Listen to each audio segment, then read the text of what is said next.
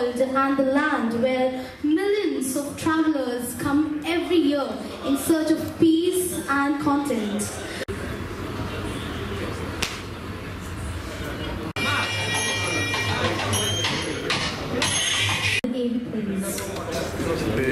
We have selected, or we have concentrated on 10 cities across India.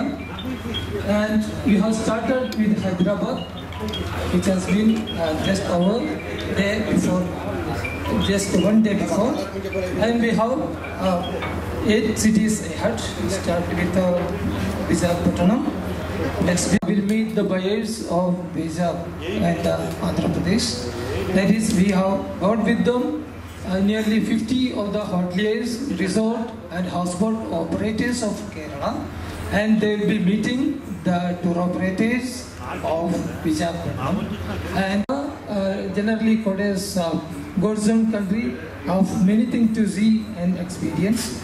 And you see that